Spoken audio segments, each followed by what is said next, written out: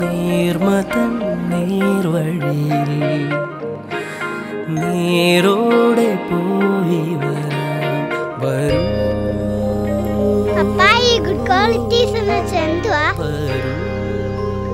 സത്യം മാത്രം പറയുക.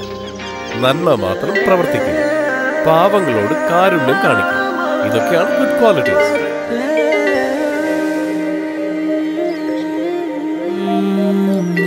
നീർമതൻ നേർവഴിയിൽ.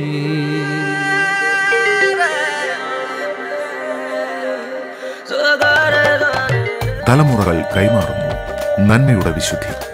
കേരള കൗമുദി.